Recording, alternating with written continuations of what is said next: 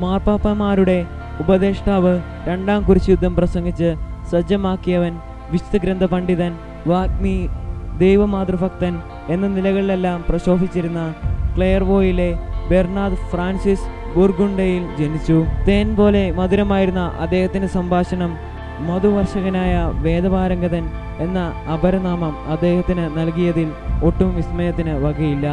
ഇരുപത്തിമൂന്നാമത്തെ വയസ്സിൽ ബെർണാദ് തന്റെ സഹോദരന്മാരുടെ കൂടെ സെനറ്റോ ആശ്രമത്തിൽ പ്രവേശിച്ചു. വിശുദ്ധ സ്റ്റീഫനായിരുന്നു അന്നത്തെ ആബട്ട് ഓരോ ദിവസവും ബെർണാർ തന്നോട് തന്നെ ചോദിച്ചിരുന്ന ബെർണാദെ നീ എന്തിന് ഇവിടെ വന്നു? അദ്ദേഹത്തെ ക്ലെയർഹോയിൽ ആരംഭിച്ച പുതിയ ആശ്രമത്തിന്റെ ആബട്ടായി നിയമിച്ചു. മുപ്പത്തേഴ് വർഷം അദ്ദേഹം ആ ജോലിയിൽ തുടർന്നു. ആ കാലഘട്ടത്തിൽ അദ്ദേഹം ജർമ്മനി സ്വീഡൻ അയർലൻഡ് ഇംഗ്ലണ്ട് മുതലായ രാജ്യങ്ങളിലായി നൂറ്റി മുപ്പത്തി ആറ് ആശ്രമങ്ങൾ സ്ഥാപിച്ചു.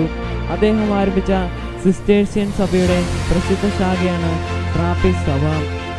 അസാധാരണമായിരുന്ന ബെർണാദിന്റെ ദൈവമാതൃഭക്തിയും പരിശുദ്ധ രാജ്ഞി എന്ന ജപത്തിലെ അവസാന വാക്യവും എത്രയും ദൈവ മാതാവേ എന്ന ജപവും ബെർണാദ് എഴുതിച്ചതാണ്. അറുപത്തിരണ്ടാമത്തെ വയസ്സിൽ സ്വർഗീയ സമ്മാനം വാങ്ങുന്നതിനായി ആ ദൈവമാതൃഭക്തൻ ഈ ലോകം വിട്ടു.